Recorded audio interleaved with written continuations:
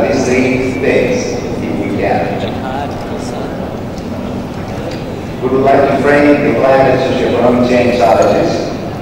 We would like to report on lessons learned from Africa and other world regions, and also identify key principles and practices to guide the sustainable management of environmental resources in the Nile and elsewhere.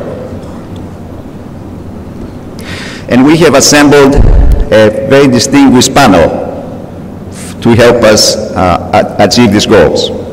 Starting with Her Excellency, Dr. Yasmin Fouad, the Minister of Environmental Affairs of Egypt, Mr. Henk Ovink, who's a Dutch envoy to the UN for floods, Dr. Hesham El-Askary, who's a professor at Chapman University in the US,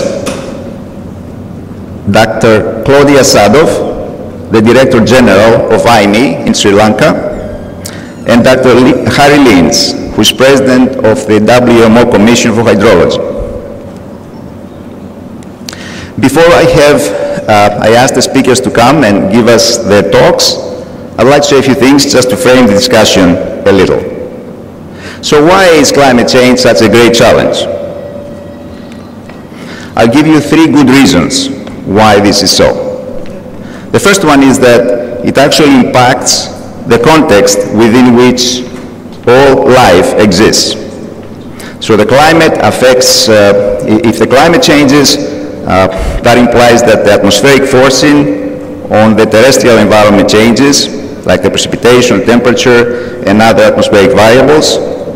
And that in turn means that the hydrologic response of the system will change, like stream flows and recharges to aquifers and the soil moisture and the evapotranspiration and sediment loads and the nutrient cycle.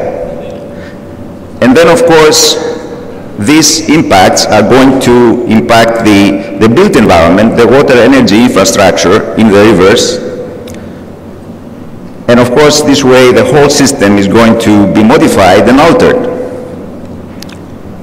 I have here in this schematic uh, the Nile Basin on the left and also a portion of the built environment in the Nile, which is the Eastern Nile uh, component, where uh, major developments are taking place and uh, need to be coordinated in a cooperative way.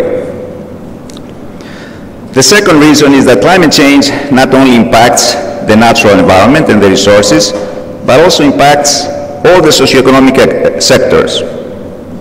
And that includes uh, the urban industrial sector, agricultural sector, energy, environment and ecology, navigation, recreation, and all the other uses that humans um, engage in with the environment and the use of natural resources. So the socioeconomy changes because of climatic change. And I'm not referring only to the water resources, I'm also uh, referring to other atmospheric variables such as temperature, for example, uh, soil moisture and the like, independently of the rivers and the flows. What is also complicating and challenging is the fact that there are feedbacks and interactions between these components. So for example, what we do and how we develop the land affects the hydrology, which affect the flows. And so there's, there are feedbacks and cycles and interactions that makes climatic make climatic change a, a real challenge. And the last, uh, but not least, reason is that climate change uh, affects the way we manage resources.